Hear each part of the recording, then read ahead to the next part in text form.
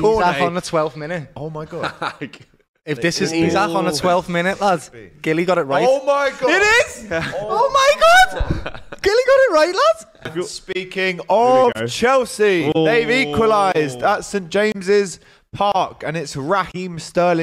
There's been a goal at St James's Park. Oh my goodness me! Oh, Oh my goodness Lordy Lord. me! There's Double been trouble. another goal at St James's Park. Newcastle 4-1 up now against Chelsea. Anthony Gordon conceded again. Chelsea are firmly and well and truly back in the mud after a couple of draws in a row.